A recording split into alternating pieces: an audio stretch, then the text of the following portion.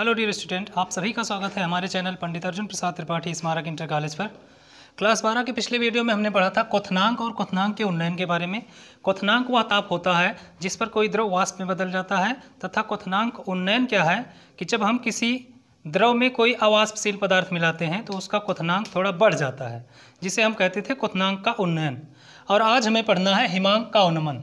हिमांक क्या है? हिमांक वह ताप है जिस पर कोई द्रव ठोस अवस्था में परिवर्तित हो जाता है। यानी हिमांक वह ताप है जिस पर कोई द्रव ठोस अवस्था में परिवर्तित हो जाता है। और हिमांक का अवनमन क्या है? जब किसी द्रव में हम कोई अवाष्पशील पदार्थ मिलाते हैं तो उसके हिमांक में कुछ कमी हो जाती है। यानी हिमांक में जो कमी आती है, उसी को हम कहते हैं क्या? हिमांक का अवनमन तो लिखेंगे इसे। वह ताप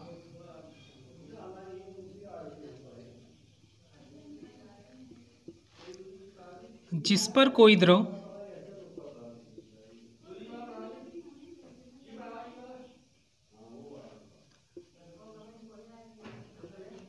गैस यानी वाष्प में परिवर्तित हो जाता है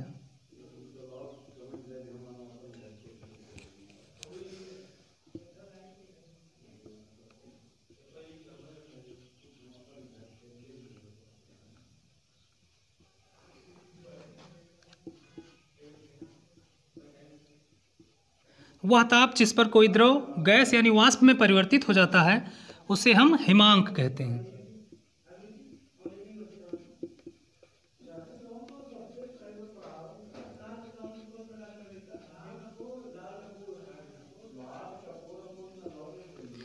जब किसी विलायक में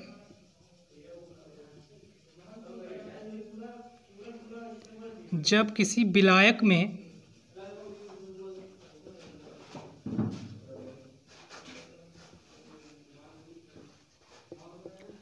कोई अवाष्पशील पदार्थ?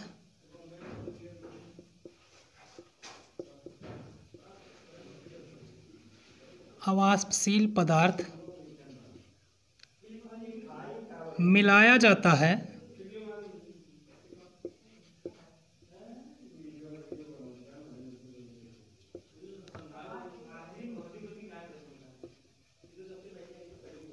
तो विलयन का हिमांक।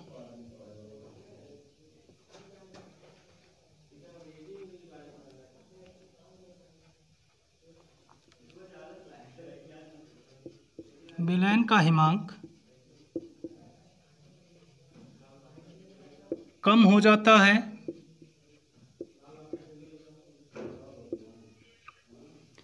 तो हम लिख सकते हैं कि किसी अवाष्पशील पदार्थ को मिलाने से हिमांक में होने वाले परिवर्तन को क्या कहते हैं? हिमांक का अवनमन किसी अवाष्पशील पदार्थ को जब मिलाया जाता है तो विलयन का हिमांक कम हो जाता है, जिसे हिमांक का अवनमन कहते हैं।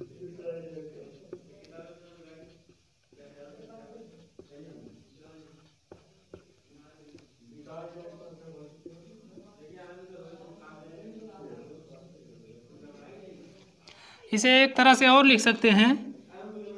विलायक और विलयन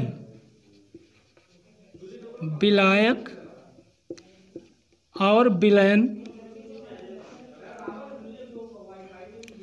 के हिमांकों का अंतर विलायक और विलयन के हिमांकों का अंतर,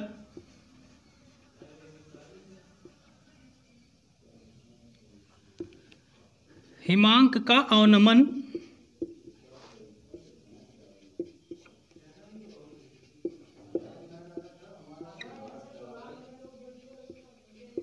कहलाता है।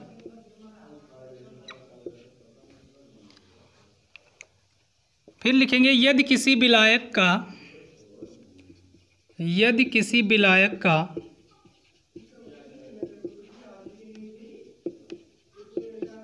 यदि किसी विलायक का हिमांक टी ज़ीरो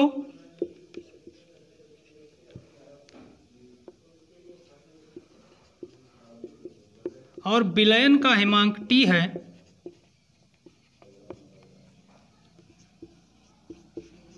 और विलयन का हिमांक टी है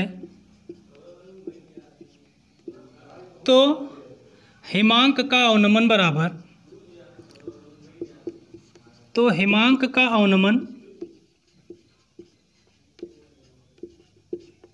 हिमांक का अवनमन को हम लिखेंगे डेल्टा टी एफ़ से।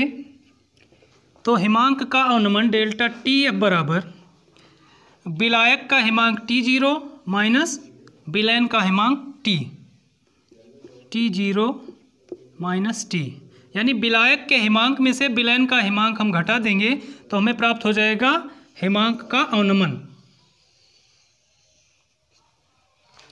अब हमें पढ़ना है हिमांक अवनमन से अणुभार की गणना। यानी हिमांक अवनमन अगर हमें पता हो तो हम किसी पदार्थ का अणुभार ज्ञात कर सकते हैं। कैसे? माना किसी, यदि किसी आवासशील पदार्थ का अणुभार यम है यदि किसी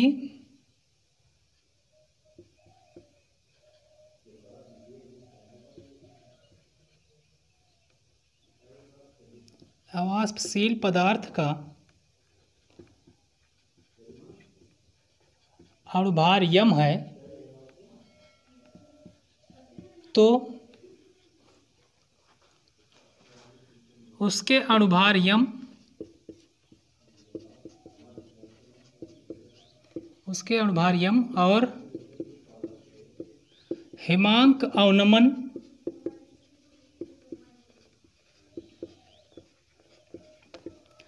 डेल्टा टी एफ़ में निम्नलिखित संबंध होते हैं। में निम्नलिखित संबंध होता है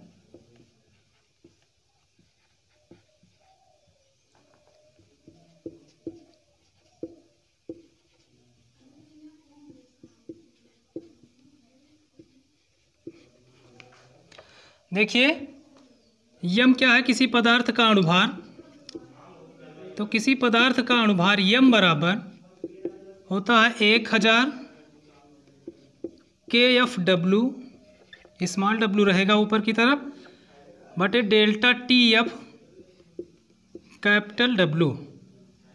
ये हो गया किसी विलयन के अणुभार या किसी पदार्थ के अणुभार और उसके हिमांक अवनमन में संबंध। जहाँ यम क्या है? यम आवासशील पदार्थ का अणुभार हो गया। और के एफ़ क्या है? के एफ़ है मोलल अवनमन स्थिरांक। मोलल अवनमन स्थिरांक। स्मॉल डब्लू क्या है? आवासशील पदार्थ का भार। आवासशील पदार्थ का भार। डेल्टा टी एफ़ क्या है? डेल्टा टी एफ़ हिमांक में होने वाली कमी यानी हिमांक अवनमन। डेल्टा टी एफ़ हिमांक अवनमन। और कैपिटल डब्ल्यू क्या है? विलायक का भार। कैपिटल डब्ल्यू विलायक का भार।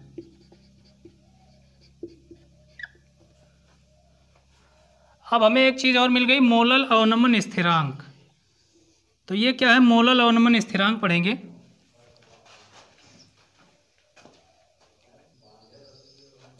अब पढ़ना है हमें मोलल अवनमन स्थिरांक क्या है, जो अभी हमने लिखा था के एफ़ मोलल अवनमन स्थिरांक के एफ़ क्या है? जब किसी एक किलोग्राम विलायक में हम किसी विद्युत अनपघट्ट पदार्थ का एक मोल मिलाते हैं, तब जो उसके हिमांक में कमी होती है, यानी हिमांक का अवनमन होता है, वही कहलाता है मोलल अवनमन स्थिरांक। यानी एक किलोग्राम विलायक में, एक किलोग्राम विलायक में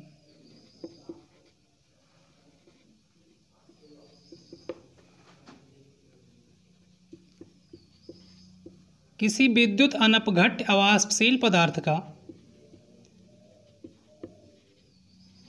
विद्युत अनपघट्ट आवासशील पदार्थ का एक मोल घोलने पर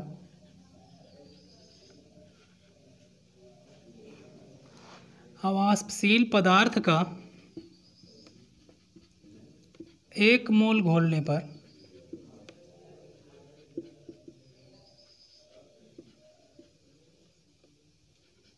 हिमांक में होने वाली कमी, यानी हिमांक अवनमन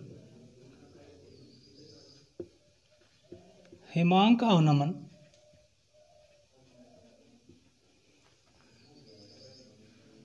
उस विलयन का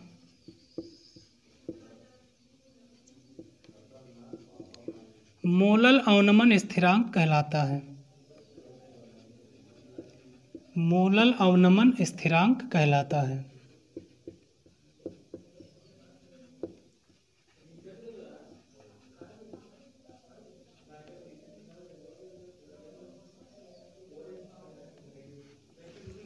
अब हम क्या करेंगे? हिमांक अवनमन से अणुभार की गणना वाला कोई एक सवाल हल करेंगे। क्वेश्चन कोई लिखेंगे? हिमांक अवनमन से अणुभार की गणना करने के लिए।